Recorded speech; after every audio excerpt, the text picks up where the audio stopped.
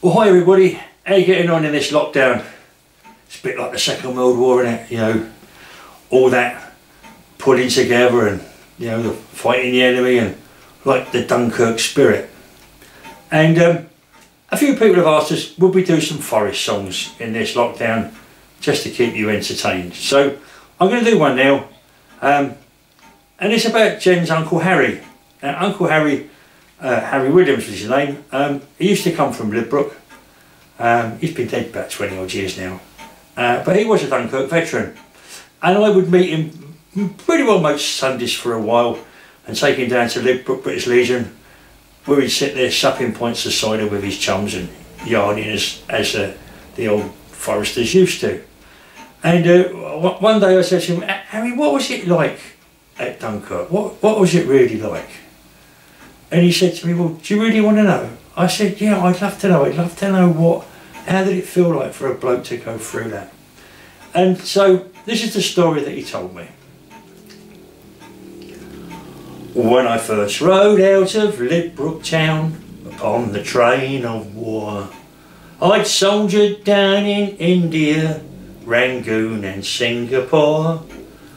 I said goodbye to kith and kin and loaded up me gun off to the fields of Europe to fight the spiteful Hun. Well, we travelled into Belgium and tried to make a stand against that mighty blitzkrieg that was chewing up the land. Machine gun bullets killed my pals and other men just cried. Is this what we've been training for or was it all just lies. Now Daddy Long, the Sergeant Major, had been here before. He'd fought those sauerkraut yutters in that first great bloody war.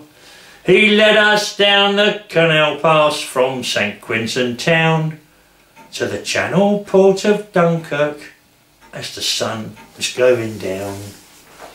Well, we found a bombed out NAAFI store and just a pair of legs. We got inside that building and we stole a load of fags. We took 'em to the beach that day as Stukas made their run and swapped them with some Geordies for a load of stolen rum. Well, we laid there in that bedlam of bullets, muck and mire, and we all got drunk as monkeys underneath enemy fire. I woke up with a hangover and thought, go bugger me. Cause I woke up in England, I'd crossed the raging sea. Well, I went back home to Lydbrook and this story I could tell. Just a simple soldier living through this bloody hell. I even got a medal just for being on that sand. A tiny grain of history, just a Dunkirk man.